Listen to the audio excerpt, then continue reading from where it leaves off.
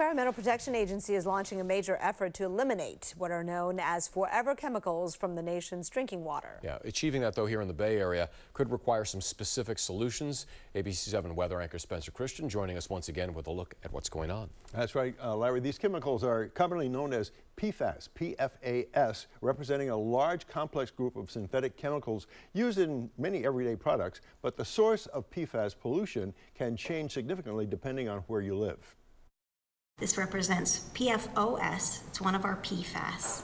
For scientist Rebecca Sutton, the toxic samples on the wall represent years of hard work. She and her collaborators at the San Francisco Estuary Institute have spent more than a decade tracking chemicals known as PFAS. So they can harm a lot of different organ systems in the body. They can harm the kidneys, the liver, our blood, our reproductive and immune function. PFAS, known also as forever chemicals, are now in the crosshairs since the Environmental Protection Agency proposed tight new standards to protect the nation's drinking water. But Sutton says the situation here in the Bay Area is different from other parts of the country where the pollution is still driven by heavy manufacturing. So we want to make sure it's a good mix of bay water and fresh water.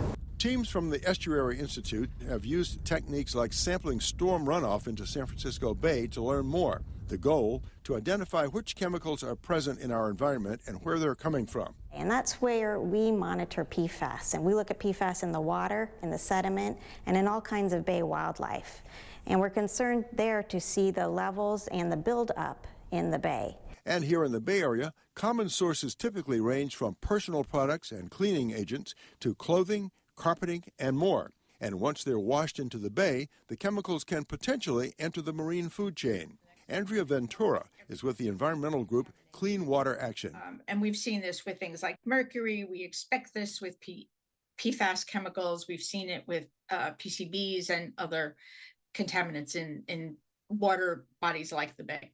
Researchers say they're also working to better understand how PFAS pollutants may be entering drains and wastewater systems and at what volumes but they believe the most efficient way to control the chemicals is with manufacturers. Wastewater and stormwater agencies aren't responsible for the presence of these contaminants, and they can't just treat them away.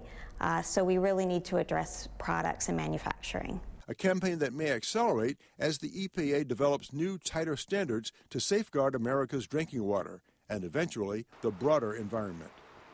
Now, limiting PFAS pollution will be a complicated process that will likely happen in stages. The EPA proposes starting with just two of the chemicals. In some cases, industries have already developed or are working on replacements for the PFAS chemicals they use. And if you aren't a chemist and wonder what PFAS stands for, it's polyfluoroalkyl substances. Larry?